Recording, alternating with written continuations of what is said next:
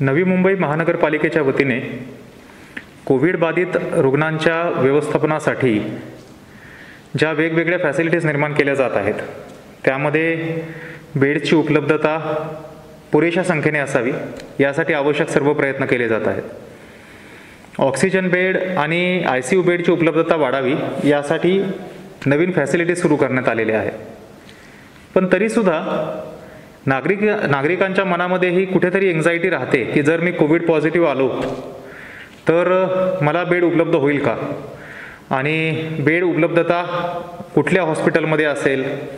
जेणेकरून एखादा रुग्ण जर काही प्रमाणामध्ये सिरियस होत असेल काही कॉम्प्लिकेशन निर्माण होत असतील आणि त्याला आय सी यू बेडची आवश्यकता असेल अशा वेळी मला कुठल्या रुग्णालयामध्ये बेड उपलब्ध होईल? याबद्दल माहिती अवेलेबल जर नसेल त्यामुळे जी रुग्णांच्या किंवा त्या नातेवाईकांच्या मनामध्ये एक एन्झायटी निर्माण होते आणि त्यांना इन्कन्व्हिनियन्स होतो हा एक फार सिरियस प्रॉब्लेम सध्या पूर्ण व्यवस्थापनामध्ये आपल्याला जाणवतो. तर याच्यावर एक उपाय म्हणून महानगरपालिकेच्या वतीने real time dashboard about bed availability सुरू करण्यात आलेला आहे. जो रिअल टाईम बेसिसवरती अपडेट केला जाणार आहे. मला सांगण्यासाठी अत्यंत आनंद होतो की जी कोविडच्या फॅसिलिटीज महानगरपालिकेने सुरू केलेल्या आहेत या सर्व कोविड फॅसिलिटीजच्या मधील बेडची उपलब्धता आपल्याला आता N M M C health facilities dot com या डॅशबोर्डवरती या पोर्टलच्या माध्यमातून मिळू शकणार आहे. आणि आजपासून हे पोर्टल आपण पब्लिक डोमेनमध्ये लाईव्ह करत आहोत.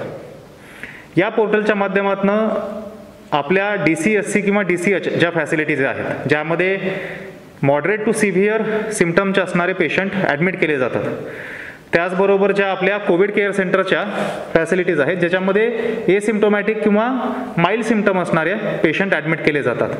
अशा सर्व फॅसिलिटीजमधले एकूण अवेलेबल बेड्स ऑक्युपाईड बेड्स आणि व्हॅकंट बेड्स याची माहिती उपलब्ध होणार आहे. मोरोवर हॉस्पिटल निहाय जर आपण पाहिलं फॉर एक्झाम्पल आपले डी सी एचमधले वेगवेगळे हॉस्पिटल आहेत. वाशीचं आमचं हॉस्पिटल असेल कॉर्पोरेशनचं Apollo hospital Reliance hospital Fortis असे वेगवेगळे हॉस्पिटल आहेत. प्रत्येक हॉस्पिटलमधले बेडची उपलब्धता आणि त्याच्यामध्ये ऑक्सिजनचे बेड किती नॉन ऑक्सिजनचे बेड किती आणि आय सी यूचे बेड किती. अशी विगतवारी करून बेडची उपलब्धता आणि व्हेंटिलेटर याबाबतची माहितीसुद्धा डिटेलमध्ये उपलब्ध आहे. आम्ही सिस्टम प्लेस केलेली आहे ज्याच्या माध्यमातून हे portal time to time update केलं जाईल. आणि त्याच्यामुळं आम्ही त्याला रिअल टाईम अपडेटेड अशा पद्धतीने म्हणत आहोत. या पोर्टलच्या माध्यमातून बेडच्या उपलब्धतेची माहिती ही नागरिकांपर्यंत वेळोवेळी जात राहील. नागरिकांच्या व्यतिरिक्त इव्हन कॉर्पोरेशनची जी संपूर्ण यंत्रणा आहे त्यांना सुद्धा पेशंट रेफर करण्यासाठी आजपर्यंत जे काम फोन आणि व्हॉट्सॲपच्या द्वारे चालू होतं आणि आयत्या वेळी पेशंट आला तर मग याला फोन कर किंवा दुसऱ्या हॉस्पिटलला फोन कर. अशा पद्धतीने जो प्रकार पाहत होतो. किंवा काही वेळा दुर्दैवाने असे प्रकार पण निदर्शनं आलेले आहेत की ॲम्ब्युलन्स हॉस्पिटल टू हॉस्पिटल फिरत राहते. Just to confirm bed available आहे किंवा नाही. तो प्रकार होऊ नये याच्यासाठी मला विश्वास आहे की हे पोर्टल मोठ्या प्रमाणावरती आपल्याला मदतगाईस पूर्णपणे आपल्याला राहणार आहे. मी सर्व नवी मुंबई शहरातील नागरिकांना आवाहन करतो की त्यांनी या उपक्रमाची नोंद घ्यावी आणि याचा लाभ करून घ्यावा जेणेकरून रुग्णाला कुठल्याही हॉस्पिटलमध्ये वेळेवर पोहोचवणं महत्त्वाचं जे असतं आणि तो गोल्डन आवर जो म्हणतो आपण ज्याच्यामध्ये वेळेत जर आपण त्याला हॉस्पिटलमध्ये दाखल करू शकलो तर त्याच्या व्यवस्थापनामध्ये आणि त्याला पुढचे कॉम्प्लिकेशन अराईज होऊ नयेत याच्यासाठी ज्या गोष्टी आवश्यक आहेत त्या सर्व आपण करू शकू.